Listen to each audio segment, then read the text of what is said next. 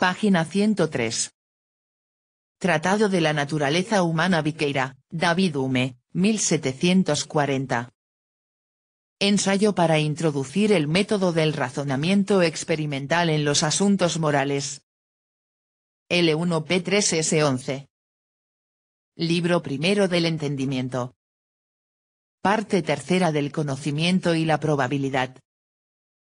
Sección 11. De la probabilidad del azar.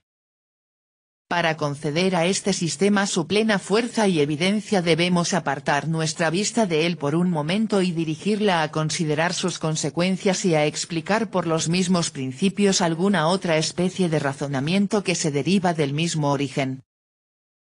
Los filósofos que han dividido la razón humana en conocimiento y probabilidad y han definido el primero como la evidencia que surge de la comparación de ideas están obligados a comprender todos nuestros argumentos relativos a las causas y efectos bajo el término general de probabilidad.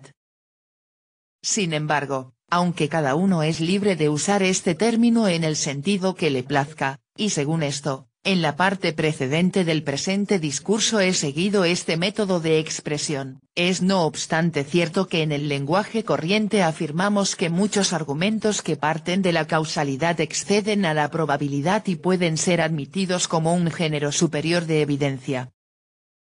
Haría el ridículo quien dijese que es solo probable que el sol salga mañana o que todos los hombres mueran aunque es claro que no tenemos más seguridad de estos hechos que la que la experiencia nos proporciona. Por esta razón quizás será más conveniente, para conservar el sentido corriente de las palabras y al mismo tiempo indicar los varios grados de evidencia, distinguir en la razón tres grados, a saber, el del conocimiento, el de las pruebas y el de la probabilidad. Por conocimiento entiendo la seguridad que surge de la comparación de ideas por pruebas, los argumentos que se derivan de la relación de causa y efecto y que están totalmente libres de duda e incertidumbre por probabilidad, la evidencia que va acompañada con alguna incertidumbre. Procedo a examinar ahora esta última especie del razonamiento. La probabilidad o razonamiento por conjetura puede dividirse en dos géneros, a saber, el que se funda en el azar y el que surge de las causas. Debemos considerar cada uno de ellos en este orden.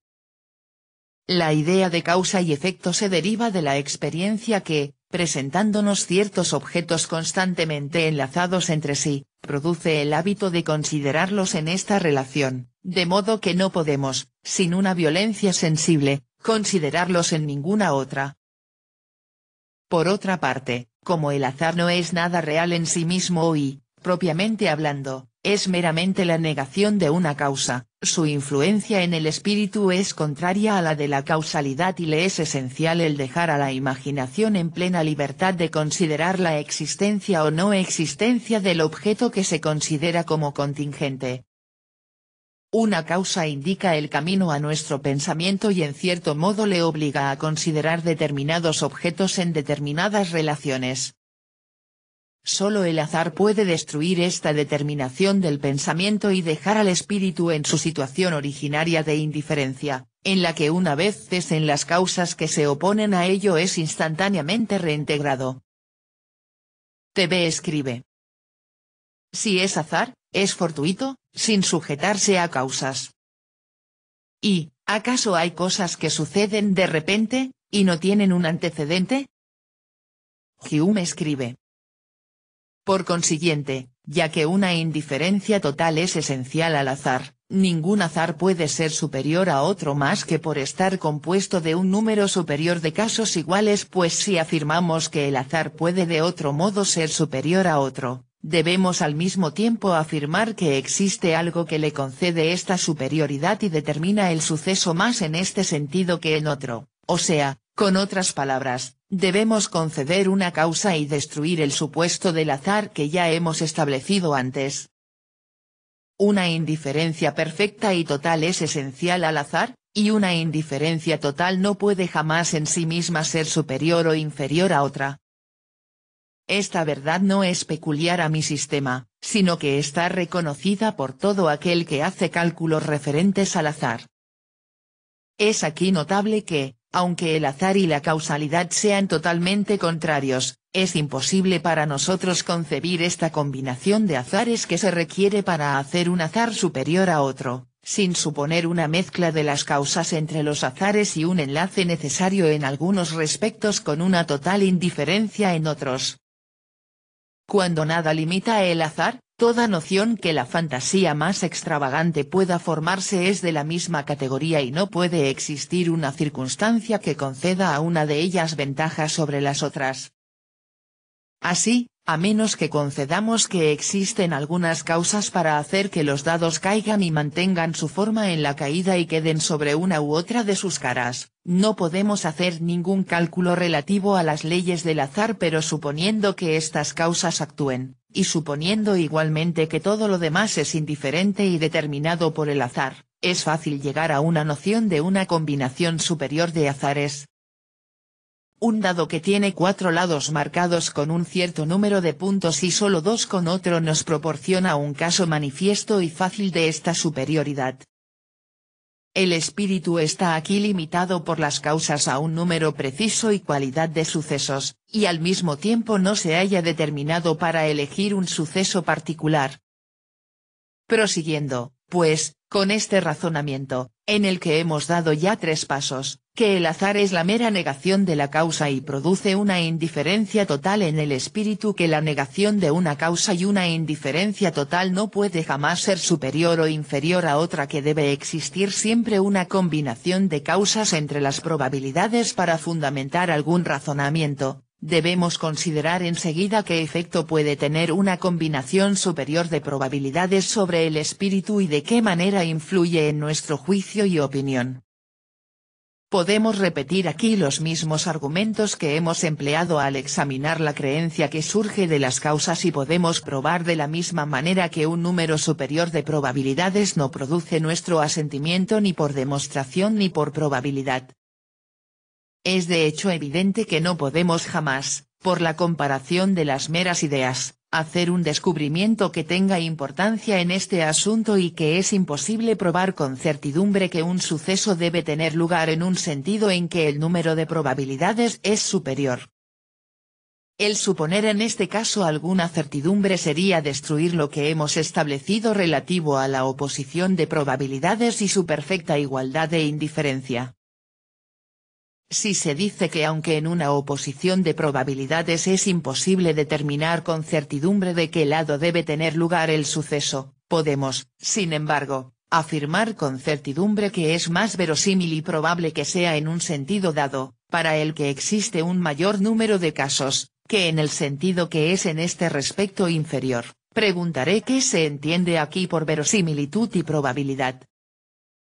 La verosimilitud y probabilidad de azares es un número superior de casos iguales, y, por consecuencia, cuando decimos que es verosímil que el suceso tenga lugar en un sentido que es superior más bien que en uno que es inferior no hacemos más que afirmar que donde existe un número superior de casos existe actualmente una probabilidad superior, y donde existe uno inferior es esta inferior, proposiciones que son idénticas y no tienen importancia, la cuestión es por qué medios un número igual o superior de probabilidades actúa sobre el espíritu y produce creencia o asentimiento, ya que resulta que esto no sucede ni por argumentos derivados de la demostración ni de la probabilidad. Para resolver esta dificultad supondré que una persona toma un dado hecho de manera tal que cuatro de sus lados están marcados con una figura o un número de puntos y los otros dos lados con otro, y lo pone en un cubilete con intención de arrojarlo después es evidente que debe concluir que una figura será más probable que la otra y dará la preferencia a la que está grabada en mayor número de caras. La relación es 4 a 2 en cierto modo cree que esta será la predominante, aunque aún dudando en proporción del número de casos contrario y según que estos casos contrarios disminuyan y aumente la superioridad de los otros casos, su creencia adquirirá nuevos grados de estabilidad y seguridad. Esta creencia surge de una acción del espíritu sobre los objetos simples y limitados que están ante nosotros y, por consiguiente, será más fácilmente descubierta y explicada. No tenemos necesidad de considerar más que un único dado para comprender una de las más curiosas actividades del entendimiento. Este dado, construido como antes se dijo, contiene tres circunstancias dignas de nuestra atención. Primeramente, ciertas causas, como la gravedad, solidez, figura cúbica, etc., que le determina a caer, a conservar su forma en la caída y a volverse sobre uno de sus lados segundo, cierto número de lados que se suponen indiferentes tercero, cierta figura grabada en cada lado. Estas tres particularidades constituyen la plena naturaleza del dado, en tanto que se relaciona con nuestro propósito presente, y, por consecuencia, son las únicas circunstancias consideradas por el espíritu al pronunciar su juicio acerca del resultado de la acción de arrojarlo del cubilete. Consideremos gradualmente y con cuidado cuál será la influencia de estas circunstancias sobre el pensamiento y la imaginación. Primeramente, hemos observado ya que el espíritu se haya determinado por la costumbre a pasar de una causa a su efecto y que cuando uno de estos términos se presenta es casi imposible no formarse la idea del otro. Su unión constante en casos pasados ha producido un hábito tal en el espíritu, que los une siempre en su pensamiento e infiere la existencia del uno de la de su acompañante usual.